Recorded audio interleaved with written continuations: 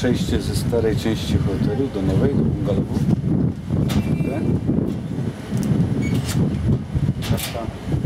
Otwarte.